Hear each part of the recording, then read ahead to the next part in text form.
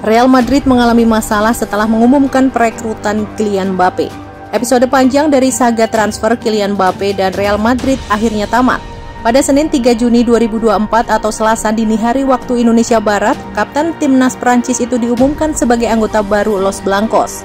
Real Madrid dan Kylian Mbappe telah mencapai kesepakatan, demikian bunyi pengumuman di laman resmi Madrid. Mbappe akan menjadi pemain Real Madrid selama lima tahun ke depan, sambung pernyataan tersebut. Kepastian soal transfer Mbappe ternyata menimbulkan efek luar biasa sekaligus masalah bagi Madrid. Melansir dari Mundo Deportivo, hanya satu menit setelah pengumuman, website resmi Real Madrid sempat tidak bisa diakses untuk beberapa saat. Hal tersebut dikarenakan laman milik El Real tidak mampu menahan gelombang pengguna internet. Dengan munculnya pengumuman yang ditunggu-tunggu ini, Madrid mengakhiri pengejaran terhadap Mbappe selama beberapa tahun terakhir. Mbappe punya kesempatan untuk merapat ke Madrid pada musim panas 2022. Hanya saja, tiba-tiba Mbappe membuat plot twist dengan memperpanjang kontrak bersama Paris Saint-Germain.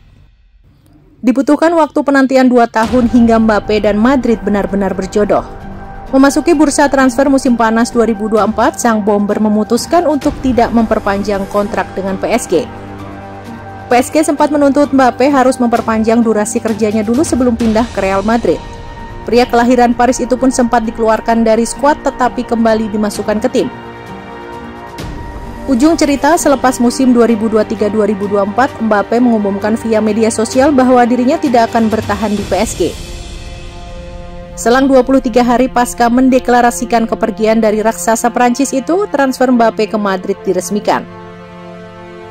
Si pemain sendiri menyatakan bahwa bergabung dengan Madrid merupakan mimpi yang menjadi kenyataan.